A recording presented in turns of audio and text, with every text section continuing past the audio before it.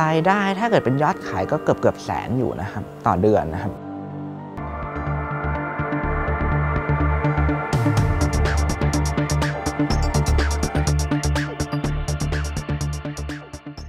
จบกราฟิกดีไซน์ที่ออสเตรเลียมาครับเมืองบริสเบนครับตอนที่อยู่ที่นู่นก็เคยทำงานร้านอาหารไทยมาก่อน ก็จากที่ไม่เคยทำอาหารเป็น ไม่เคยจับมีดก็ก็ทำได้เลยเรียนเสร็จไป อบรมก่อนครับเรื่องการปลูกข้าวที่มูลนิธิขวัญข้าว ไปอบรมที่กรมการข้าวที่กรมการข้าวจะเป็นหลักสูตรชาวนาเบื้องต้นครับ หลังจากนั้นก็ไปอบรมมูลนิธิขวัญข้าวที่สุพรรณบุรี ตรงนั้นจะเป็นปลูกข้าวแบบไม่ใช้สารเคมีเลยครับ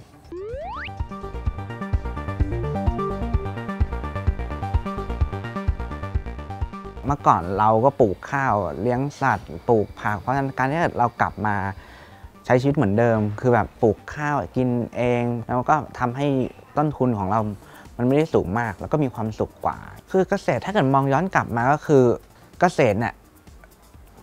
ได้รายได้ดีกว่ามนุษย์เงินเดือน แล้วเราไม่เครียดด้วย อย่างเช่นสมมติเรามีพื้นที่ไร่หนึ่งเราก็จัดสรรว่าเราจะทำยังไงปลูก ผักเท่าไรปลูกเลี้ยงปลาหรือว่าอะไรอย่างนี้คือกลับมาคือใช้พื้นที่ให้ให้ได้เยอะที่สุด อย่างเช่น ขอบคันนาปลูกตะไคร้ เราก็สามารถขายได้คือ แทนที่เราจะเอาเอาพื้นที่เปล่าๆเนี่ยให้ยาขึ้นเราก็สามารถปลูกตะไคร้ปลูกมะนาวปลูกอยากปลูกอะไรเราอยากกินอะไรเราก็ปลูกได้ครับเหลือก็เอาไปขายขายก็ได้มาเป็นเงิน ซึ่งเงินตัวเนี้ยมันเป็นเงินที่อาจจะดูขายกำหนึ่ง5บาท 10 บาท แต่ถามว่าขายได้ทุกวันเนี่ยมันก็มันก็มันสามารถเลี้ยงเราได้ครับ อย่างพี่มวยสมัยบัฟฟาโลเขาก็กลับมาปลูกข้าว มองว่าแบบจุดจุดหนึ่งกลับมาใช้ชีวิตแบบนี้มีความสุขมากกว่า ที่อาจจะเป็นไปร้องเพลง หรือว่าเป็นกลับมาแล้วมีความสุขมากกว่าอย่างเงี้ยครับเพราะว่าพันธุ์ที่เอามาปลูกคือเป็นเอาไรซ์เบอร์รี่คือสามารถปลูกได้ทั้งปีครับไรซ์เบอร์รี่ราคาจะค่อนข้างดีกว่าครับมีสารพวกต้านอนุมูลอิสระได้ แล้วก็น้ำตาลน้อยอะไรประมาณนี้ครับ ก็จะมีไปเหมือนกินแล้วก็มีประโยชน์ต่อร่างกายมากกว่าครับก็คือคณาซีเมนต์มีข้อดีคือ 1 เพิ่มพื้นที่ในการผลิต เพราะถ้าเกิดว่าคณามันเท่านี้ใช่ไหมก็พื้นที่ในการผลิตก็ได้เยอะขึ้น 2 ไม่ต้องตัดหญ้า 3 ก็คือปูกับหนูไม่มาเจาะ เก็บน้ำได้ดีกว่า ลงทุนเฉพาะคณาใช่ไหมครับประมาณ 2 0 0 0 0 0ครับผม ถ้าเกิดว่าช่วงว่างเราก็ยรอหญ้าให้ขึ้นแล้วเราก็ไถกบ เพื่อลดปริมาณหญ้าในแปลงนาด้วย แล้วก็เป็นปุ๋ยพืชสดไปด้วยเงี้ยครับหลังจากนั้นก็จะเอาตัวโรตารี่ปั่นดินแห้งปั่น หลังจากนั้นก็ใส่น้ำช่วงนี้เราก็จะใส่จุลินทรีย์ไร่ละ1ลิตรเพื่อย่อยสลายพวกซากต้นหญ้า จะปล่อยตามน้ำที่เราปล่อยเข้าก็ได้ หรือเราจะเดินเหาะตามจุดตามจุดอะไรอย่างนี้ก็ได้ หลังจากนั้นก็เอาน้ำออกแล้วก็รูปตีเทือกรูปเทือก ลดน้ำลงเพื่อเตรียมให้รถดำลง ช่วงที่เราทำเทือกนั้นเราก็เพาะก้าไว้ได้เลยอะไรเงี้ยครับใช้เวลาเพาะก้า15 วันครับรถดำวันหนึ่งดำได้ประมาณ 20 ไร่ พนักงานประจำแค่คนเดียวนอกนั้นจะจ้างข้างนอกมา ตัดหญ้าดูแลเรื่องน้ำอะไรประมาณอย่างเงี้ยครับแต่เราก็ต้องมาดูจัดระบบอีกทีนึงว่าวันนี้จะทำอะไรหรือว่าอะไรอย่างเงี้ยครับ มีเรื่องอหอยเชอรี่อะไรเงี้ยครับเวลาเราลดดำเราก็โรยกากชาไปเรื่อยๆเงี้ยครับก็จะจัดการหอยเชอรี่ได้ครับ ต้องต้องรีบใส่ตอนที่เราเพิ่งดำไม่งั้นเดี๋ยวจะโดนหอยเชอรี่กินนะครับ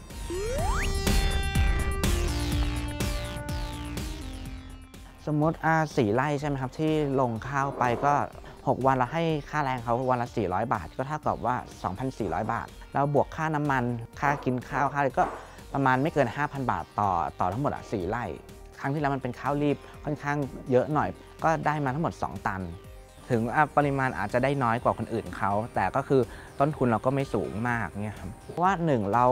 เราไม่ใช้ปุ๋ยเคมี ลูกหนึงก็ประมาณเกือบเกือบพันแล้วครับ500 ขึ้นไปอะไรประมาณนี้แล้วแต่สูตรว่าเราจะใช้สูตรไหนอะไรอย่างเงี้ยครับสองตันเราจะได้มาประมาณ 60%ที่เป็นข้าวข้าวสารเนี่ยครับก็จะได้ประมาณ 1,200 กิโล แต่ ข้าวที่สีออกมาทุกอย่างขายได้หมด อย่างเช่นเราเกี่ยวข้าวมาปุ๊บฟางสามารถอัดฟางขายได้ แกลบสามารถเอาไปขายต่อได้ลำก็เอาไปขายต่อได้ จมูกข้าวก็เอาไปขายต่อได้ เพราะทุกสิ่งทุกอย่างที่ออกมาจากข้าวเนี่ยขายได้เป็นเงินได้หมดเลยเงี้ยครับอย่างข้าวถ้าเกิดเราได้มาพันสองกิโลใช่ไหมครับ เราตีเรา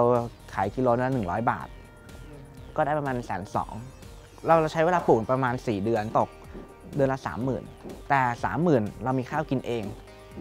ตลอดทั้งปีเลยก็ได้ ก็มันก็ลดเลยบางอย่างได้หลายอย่างเนี่ยครับ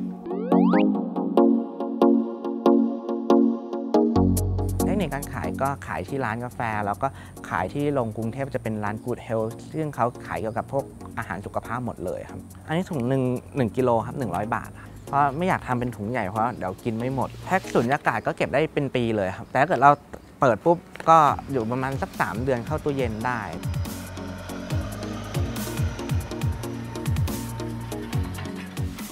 คอนเซปต์ของเราคือร้านกาแฟบนทุ่งนาอะไรเงี้ยครับก็สร้างแบรนด์จากตรงนั้นเอาครับ ช่วงปีใหม่ช่วงเทศกาลนี่คือค่อนข้างลูกค้าเข้ามาเยอะครับsignature ที่นี่ก็จะมี honey green tea มัทฉะเป็นเป็น green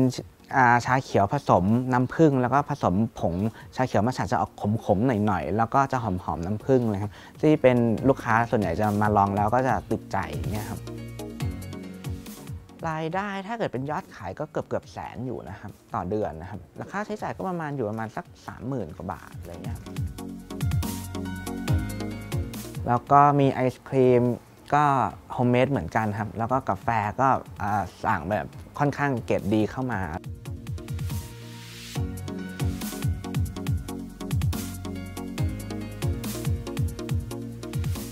เค้กจะเป็น homemade ทำเองอะไรเงี้ยครับก็ค่อนข้างอยู่ได้เงี้ยครับแล้วก็แขกเข้ามาก็ประทับใจ บรรยากาศดีครับ กาแฟอร่อยไม่แพงนะครับ มาครั้งนี้ครั้งแรกก็ประทับใจเลย เดี๋ยวนี้ก็คือสุขภาพมามามาก่อนทำไมเมื่อก่อน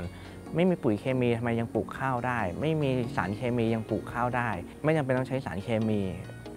อินทรีย์ธรรมชาติก็ยังใช้ได้ อันนี้เป็นข้าวปลอดสารร้อยเปอร์เซ็นต์เลยเพราะว่าเพราะว่าปลูกเองแล้วก็กินเอง รับรองว่ากินแล้วก็ไม่ได้รับสารเคมีแน่นอน